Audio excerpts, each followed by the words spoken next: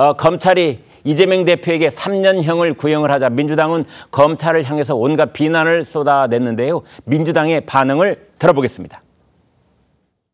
검찰은 내게 한 문장만 달라. 그러면 누구든 범죄자로 만들 수 있다. 라고 말한 독일 나치의 괴벨스보다 더 악독한 괴물이 되고 말았습니다. 3년인 걸 보고 깜짝 놀랐습니다. 얼마나 그 본인들이 그 저 참 지독한 사냥 본능, 야수 본능을 가지고 있었는지 편파 수사, 과잉 수사도 아니고 정치 사냥 수사였다라는 어, 그런 뭐 해석을 가능하게 해주는 대목인 것 같습니다. 사건에 자신이 없으니까 법원을 압박하기 위해서 전략적으로 어, 양행기준법상 최고형을 구형한 것이라고 어, 판단합니다. 어떻게 해서든지 유죄를 이끌어내려고 하는 것일 것입니다. 자, 한성원 기자, 여기서 궁금한 것이 네. 과거에 선출직 공직자의 위증교사 혐의 재판 네. 그 선례가 궁금해요. 예, 이 법원은 그동안 이 대표 사건과 이 유사한 위증 교사범들에 대해서 징역형을 선고해 왔습니다. 일단 이 사례를 하나씩 보면요. 이 박주원 전 안산시장은 2022년 3월 이 자신의 사기 사건 항소심 재판에서 이 피해자에게 거짓 증언을 하게 한 혐의로 기소가 됐습니다. 박 전 시장은 1심에서 이 집행유예를 선고받자 집행유예를 없애야 지방선거 공천을 받을 수 있다면서 항소심에서 이 증인 3명에게 위증을 시켰는데요. 검찰이 이를 적발해서 추가 기소했습니다. 이 위증교사 재판에서 1심 법원은 박 전 시장에게 징역 10개월을 선고하고 또 이 위증범들에게도 각각 징역 6개월을 선고했습니다. 모두 법정 구속됐습니다. 또 다른 한 사례는요. 2018년에 이 지방선거에서도 이 선거 공보물에 허위 사실을 담은 혐의로 재판을 받던 도의원 A 씨가 있었는데요. 이 A 씨가 공보물 제작자에게 허위 증언을 요구했다가 위증 교사 혐의로 또 추가 기소가 됐습니다. 법원은 2019년에 A 씨에게 징역 6개월에 집행유예 2년, 그러니까 의원직 상실형을 선고했습니다. 네. 아, 박 변호사님, 어, 저희 시청자들께서도 아마 놀라셨을 텐데요. 그러니까 시민들이 선출한 시장을 말이죠. 대법원 확정 판결도 아니고 1심에서 유죄를 내리면서 바로 법정 구속을 했다. 아, 놀랍습니다. 그냥 원래 법정 구속을 해왔죠. 우리 아, 재판부가 네. 해왔는데 아, 네. 요즘엔 이제 그 판결 확정 전까지 법정 구속을 가급적이면 좀 안 하도록 하자 뭐 이런 어 방침이 있긴 있어요. 네. 근데 워낙 법정 구속들을 많이 하다 보니까 그 의정부 지법에 가면 그런 게 있습니다. 네. 그 의정부 지법 주차장에 오늘 법정 구속 되실 것 같으면 가족의 연락처를 남겨달라 이게 플랜카드로 걸려 그 있어요. 정도예요? 네. 네. 그러니까 차를 타고 왔다가 들어갔는데 법정 구속되면 차만 남겨지고 들어가시는 거거든요. 네. 그러다 보니까 이거를 어떻게 해야 될지 주차장 주인이 이제 난감하니까 네. 제가 변호사 생활을 12년 차를 했는데 항소심까지 가면서 법정 구속이 가지 않는 케이스를 변호사 생활 12년 하는 동안 딱 두 번 봤습니다. 그런데요, 박 네. 변호사님, 가령 일반 뭐 형사 자범의 경우에 이중교사를 네. 하면은 이제 법정 구속이 가능하다고 보겠지만, 그러나 시장님은 주민의 선거로 해서 뽑힌 공직자잖아요. 그런데도 법정 구속을 이렇게 하- 했군요. 그만큼 이제 죄질이 나쁘거나 아, 그러면은 네. 그렇게 될 수가 있고요. 네. 그리고 저는 그런 면에 있어서 정치인이 국민들과 차별받아서는 안 된다고 생각을 아, 해요. 네. 제가 법정 구속을 안 된 딱딱 두 분이 한 분은 재벌 관련 사건이고 네. 한 분은 조국.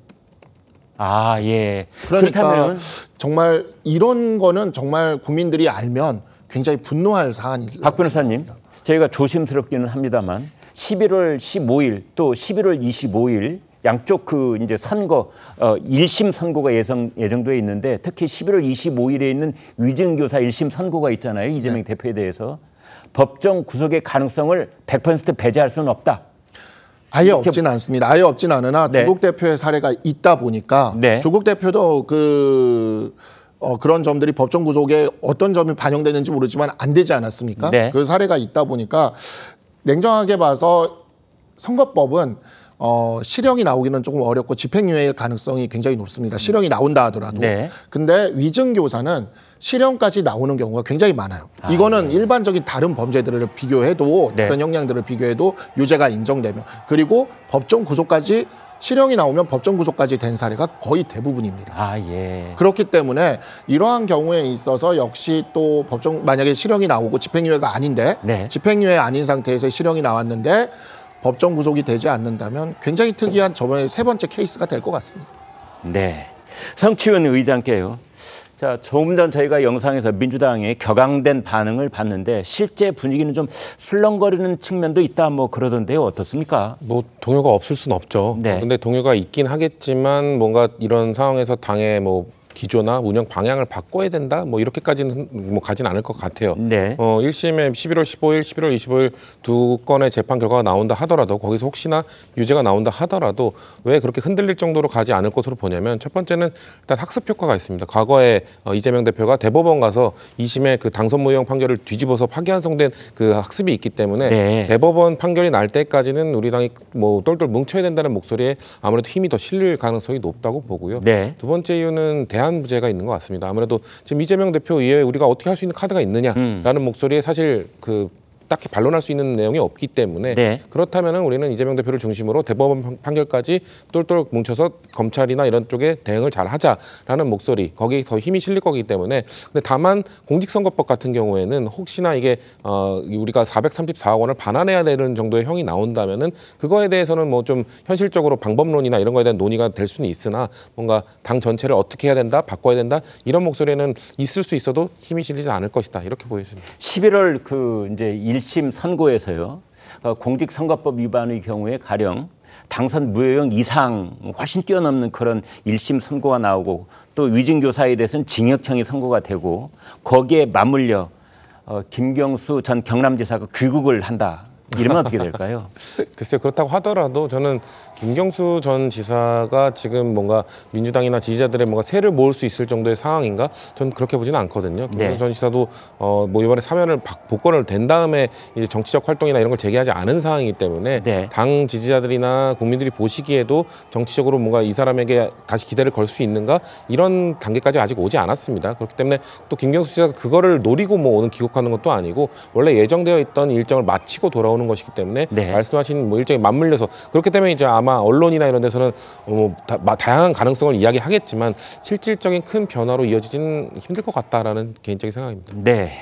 자, 성 국장님, 어, 11월에 이재명 대표의 뭐 그 연속 이제 1심 재판 선고가 나올 예정인데 비- 비록 1심이라고 하더라도 가령 그것이 항소심에서는 어떻게 될 것이다, 대법원은 어떻게 될 것이다, 어느 정도 짐작 가능한 그 출발선을 이제 공표하는 거잖아요.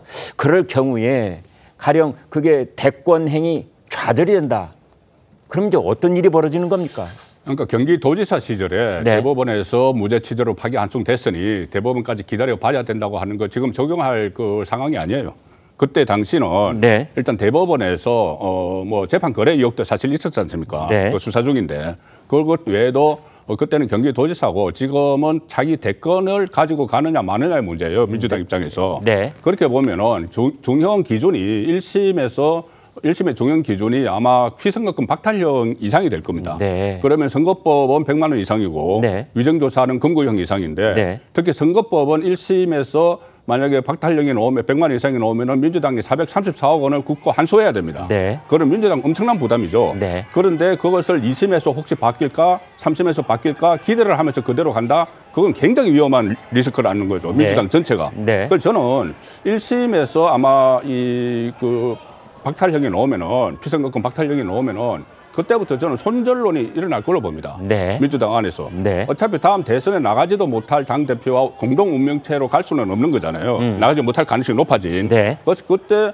손절론이 일어날 것이고 거기에 대비해서 사실상 지금 김동연 경기도지사도 움직이고 있고 김부겸 전 총리도 다시 사실상 정계에 복귀를 했고 사무실까지 냈거든요. 네. 그리고 또 김 그 그 김경수 예. 전 경남도지사도 공교롭게도 또 11월 달에 귀국을 하죠. 네. 이낙연 전 총리까지도 나그 정계 복 어, 응퇴한 것 아니라고 최근에 이야기를 했었습니다. 네. 그래서 11월에 그 상황 변화를 전부 다 지켜보고 있는 상황이고 그런데 거기서 어저 박탈령이 나오는데 피선거 박탈령이 나오는데 그냥 민주당 다른 사람들이 가만히 있을 리는 없다고 봅니다.